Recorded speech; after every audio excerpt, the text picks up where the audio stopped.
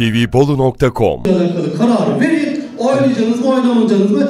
Şunu da ilaveten söylüyorum. Bir daha sakın ama sakın Cumhurbaşkanımızın adını zikrederken burada yuhlatmaya ya da rencide edici sözler söylemeye Kimse devam ederseniz Cumhurbaşkanı yuhlamadı. Sayın Başkan, Öyle Sayın bir, Başkan, öyle bir had yok. Sayın Başkan, Öyle bir hadsizliği ben yaptırmadım. Olamaz zaten. Biz de yaptık. Provoke etme.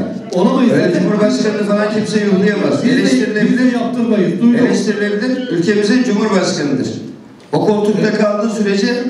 Türkiye'nin milli birliğini, bütünlüğünü temsil eder. Ama değildir eleştirilebilir. Elhamdülillah. Elhamdülillah. Başarılı görevinin başında. Evet, süreniz doldu. Teşekkür başında. ediyorum. Ben Meramınızı e, anlattınız. Beni dinlediğiniz için hepinize teşekkür ederim. Yine söylüyorum. Bu konunun bugün madem öyle attınız topu ortaya bağlansın kararı. Herkes kimin ne, ne olduğunu, fikrinin, zikrin ne olduğunu bilmesini isterim. Teşekkür ederim. tvbolu.com